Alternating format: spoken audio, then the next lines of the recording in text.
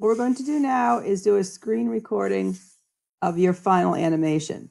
To prepare your model for a screen recording, what you're going to do is make sure that you have whatever style on that you really liked. This is going to be your final your final style. Make sure that it is something that people can actually see all the detail and all the effort that you went into on your house. So make sure it's a it's a nice style that really shows off your work to the best. What you're going to do is you're going to turn off all of the different menus so you have a nice clean screen.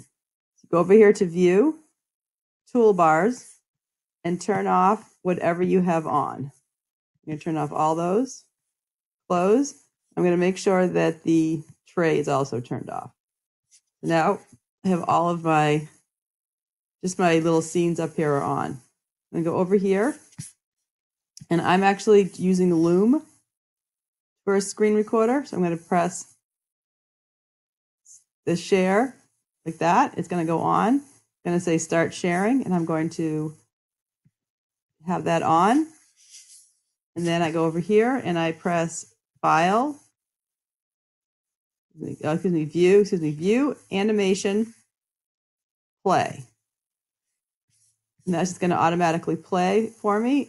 So everything in this screen is now being recorded with my screen recorder. So all of my scenes, my whole walkthrough is being recorded with my screen recorder.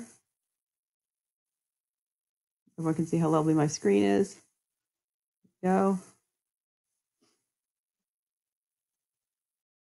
And that's just about my last scene, I think. All right, so stop. Animation is stopped. That has been recorded. So now then I take that screen recording and I download it and then I upload it. Now we'll show you how to do that at some point.